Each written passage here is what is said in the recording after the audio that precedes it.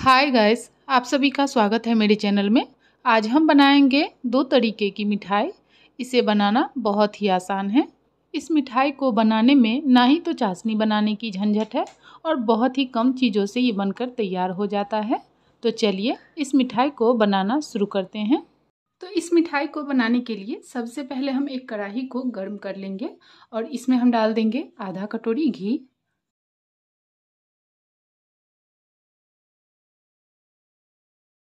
और घी को हम गर्म होने देंगे। तो अब घी गर्म हो चुका है तो अब हम फ्लेम को लो कर लेंगे और इसमें हम डाल देंगे उसी कटोरी से एक कटोरी मैदा।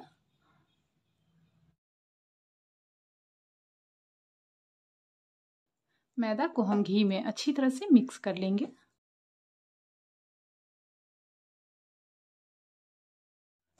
और अब हम इसे लगातार चलाते हुए भूनेंगे।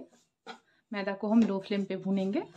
अगर हम इसे हाई फ्लेम पे भुनेंगे तो इसका कलर बहुत ही ज़्यादा चेंज हो जाएगा, जो कि देखने में बिल्कुल भी अच्छा नहीं लगेगा। इसीलिए हम इसे लो फ्लेम पे भुनेंगे, ताकि इसका कलर भी नहीं चेंज हो और टेस्ट भी बढ़िया आए।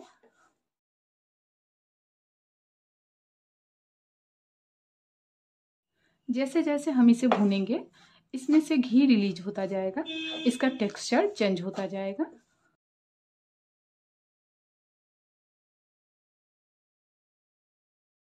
तो हमने इसे अभी पाँच से छः मिनट तक ही भुना है और ये देखिए, इसका टेक्सचर चेंज होने लगा है, मैदा से घी रिलीज़ होने लगा है। अभी हम इसे पाँच से छः मिनट तक और भूनेंगे।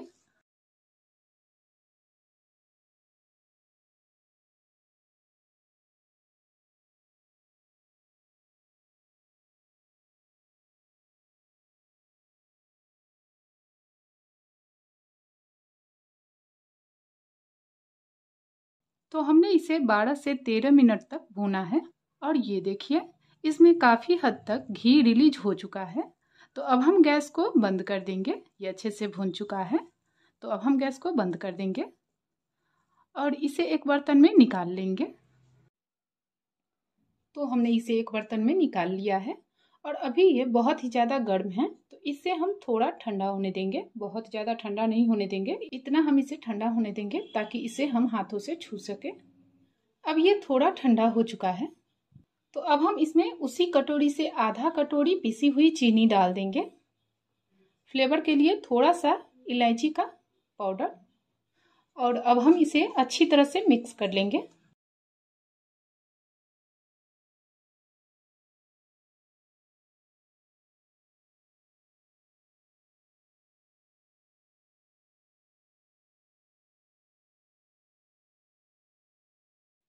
अब हम इसका पेड़ा बना लेंगे।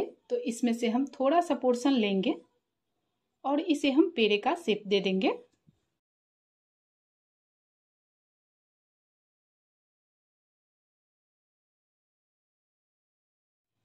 इस तरीके से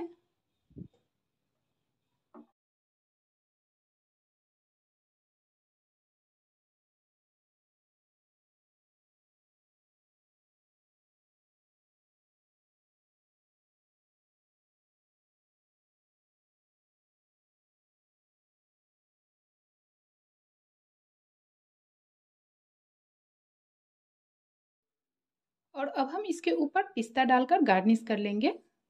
और अब हम आपको एक तोड़कर दिखा देते हैं। ये देखिए, ये बिल्कुल भी लग नहीं रहा है कि हमने इसे मैदा से बनाया है। अब एक मिठाई बनकर तैयार है। अब हम दूसरी मिठाई बनाएँगे। इसे भी बनाना बहुत ही आसान है। तो पेड़ा बनाने के लिए मैंने यहाँ पे एक कढ़ाई लिया है। इसमें हम डाल देंगे एक लीटर दूध। फ्लेम को हम ऑन कर लेंगे और दूध में हम उबाल आने देंगे। अब दूध में उबाल आ चुका है।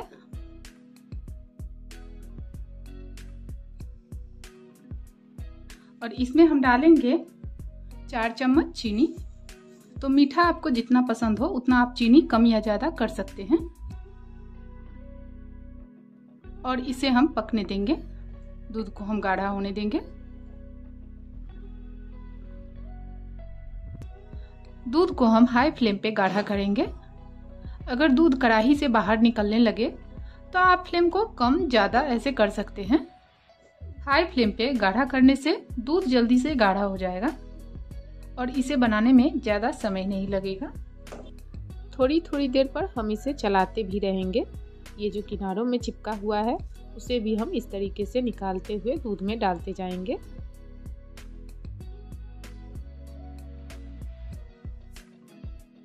ये देखिए, दूध गाढ़ा होकर आधा हो चुका है। ये काफ़ी हद तक गाढ़ा हो चुका है। अब हम फ्लेम को मीडियम रखेंगे और मीडियम फ्लेम पे अब हम इसे गाढ़ा करेंगे। अब हम इसे अगर हाई फ्लेम पे गाढ़ा करेंगे तो दूध जल जाएगा और इसका कलर भी चेंज हो जाएगा। तो इसीलिए अब हम फ्लेम को मीडियम रखेंगे और मीडियम फ्लेम पे हम इसे गाढ़ा कर लेंगे।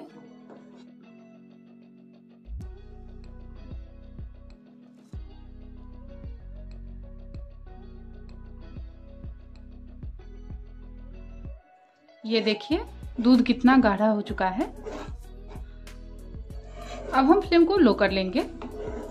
जैसे जैसे दूध गाढ़ा होता जाएगा वैसे वैसे हम फ्लेम को लो करते जाएँगे।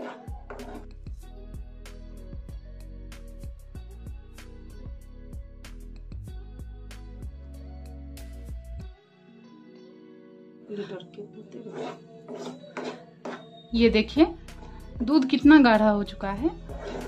तो अब हम इसमें फ्लेवर के लिए डालेंगे थोड़ा सा इलायची कूटकर। इलायची का पाउडर हो तो आप वो भी डाल सकते हैं। आधा चम्मच हम इसमें घी डाल देंगे। और अब हम इसे अच्छी तरह से गाढ़ा होने देंगे।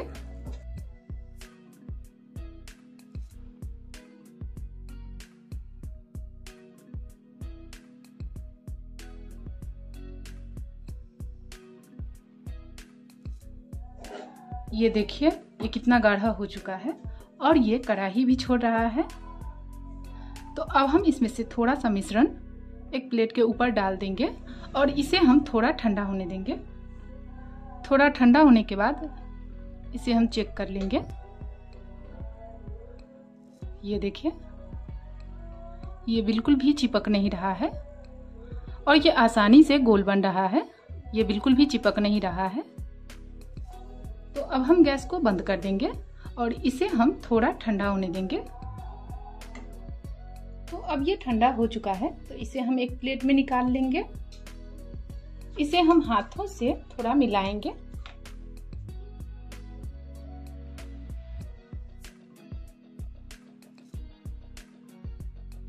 और अब हम इसका पेड़ा बना लेंगे।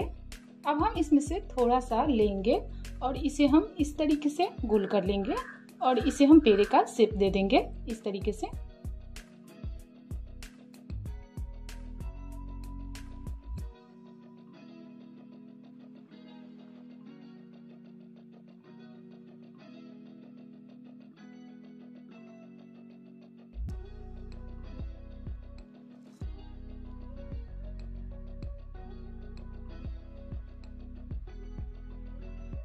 अब हम इसे कटे हुए पिस्ता और बादाम से गार्निश कर लेंगे। तो अब पेड़ा बनकर तैयार है। तो आप भी इस रेसिपी को एक बार बनाकर ज़रूर ट्राई करें और हमें कमेंट करके बताएँ कि आज की ये रेसिपी आपको कैसी लगी। अगर आपको आज की रेसिपी अच्छी लगी हो तो इस वीडियो को लाइक करें एंड मेरे चैनल को सब्सक्राइब ज़रूर करें।